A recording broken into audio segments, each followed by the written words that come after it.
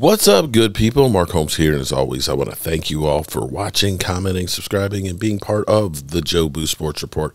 Without you guys, as well as you ladies, you know that this literally does not work. You know, um, I am not the college player guy. I'm just not. You know, Vosh and uh, my man Law Nation and a lot of other guys are the really good film breakdown guys out there.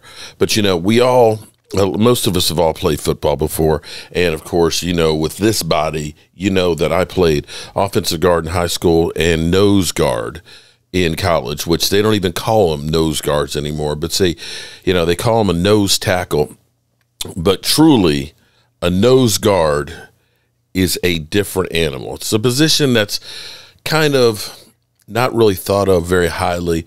Typically, you're not considered a skilled player but those guys are more important than anything else. My main man, DMV, who's only like 120 away from 5,000 uh, subscribers, definitely check him out. Let's get him over 5,000. When he's over 5,000, you're eating the chip. You're eating the Paqui chip there, DMV. Uh, you don't know it yet, but you're doing the chip challenge right here. Um, but the Cowboys have never, since back in the day, back in the 90s, really cared about interior defensive linemen. But my man DMV said something that, that's always stuck with me, which is so true. When you control the middle of the field, you control the field. And I was hoping that last year that Quinton Bohannon, who was very raw, uh, very young, and needs to learn a lot, would be a guy that could really help us out in the middle. When you look at the Cowboys' problems on defense, the biggest problem they had was stopping the run and pressure in the middle let's be clear. If you can hold up the middle of the field, if that guy and, and anybody who's watched me for any length of time has always heard me preach this over and over again, how you get your biggest bang from the guy in the middle. It's one of the reasons why I wanted to go ahead and get Jordan Davis, and the Eagles got him. Congratulations to you guys. I, I, you know he's he's going to be a great player and so on. You know, but I'm hoping that John Ridgeway might end up being a steal and the perfect fit for the Dallas Cowboys. See, here's what you have to understand. If you have a great one technique guy, and I've wanted a great one technique guy for a long time,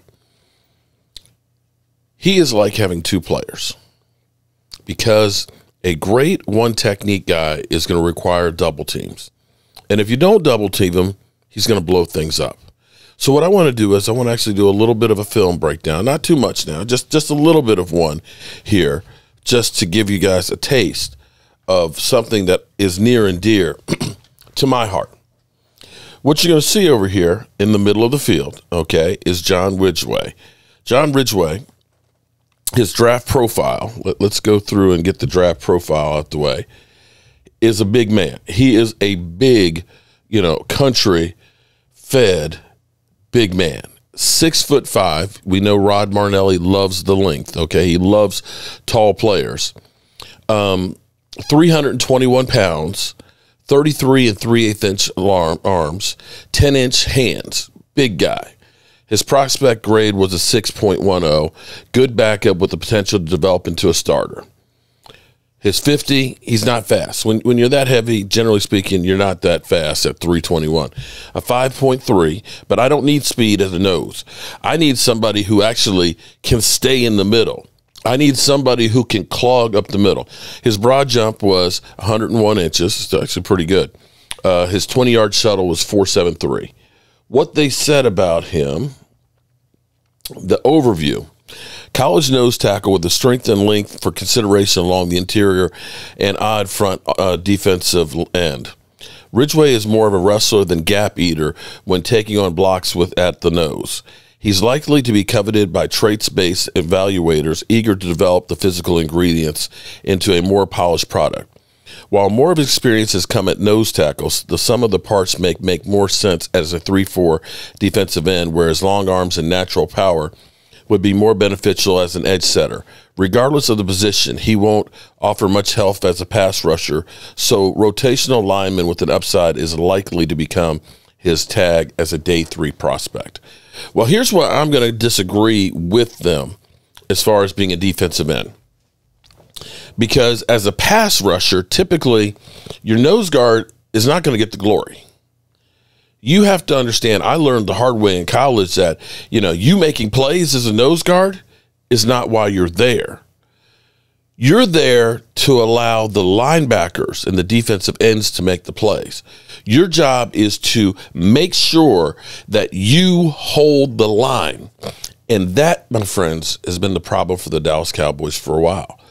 When we've had guys like Tyrone Crawford who are playing, you know, defensive tackle that are light in the ass and you're doing stunts, you get caught in those stunts, you get blown out if you've looked at many times where we've had Aaron Rodgers who's had six, seven, eight seconds to throw, and the middle of the field is wide open, and they can look and survey and see the guy breaking across the middle, it's all because you don't have that one technique guy in the middle holding up.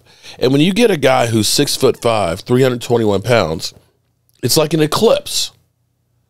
He's going to block up the field. And if he can do his job as far as taking on the double teams and keeping that guard from getting to the linebackers, that allows your linebackers to scrape and make the plays on the field. You won't see great numbers with the nose guard, but if you understand the position, when you see four, five, six sacks from a nose tackle, you know that they're an absolute positive beast. Now let's take a look at a couple of plays here. Now, John Ridgeway, of course, he's right here in the middle, the man in the middle. Now, I want you to watch what he does here. See, this is where they talk about him being a wrestler. Okay. He engages. Okay. He's got the lean into him. He's got his hands on him. Now, watch what he does with his hands as this ball's getting handed off. This is a read and react technique.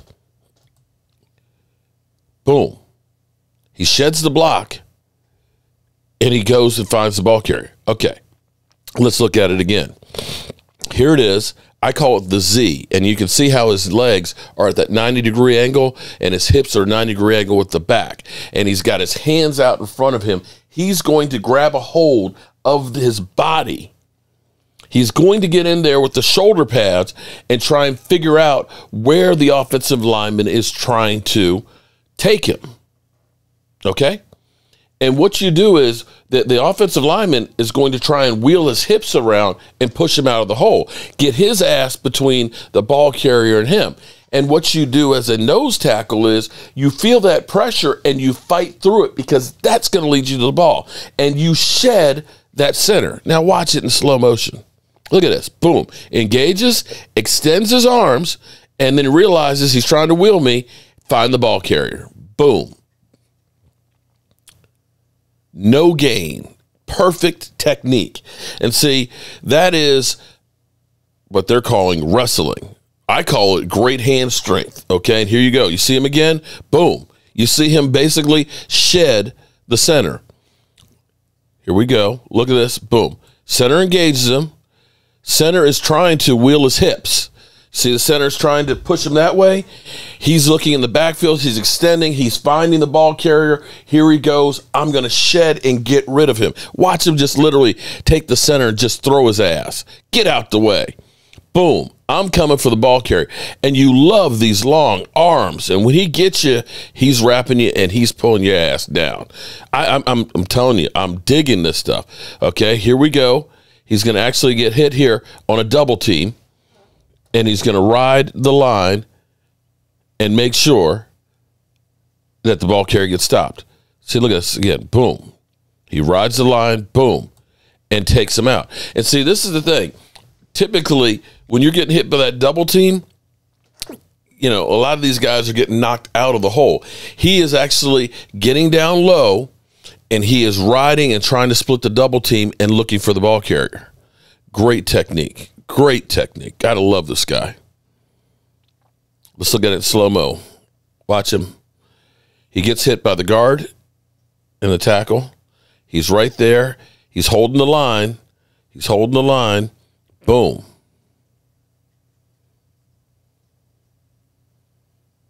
Love it. Got a couple more in here. Here you go. Look at this. You see the extension in the arms? and he's waiting, holding him up, find the ball carrier. He's reading and reacting to the defense, I mean, to the offense.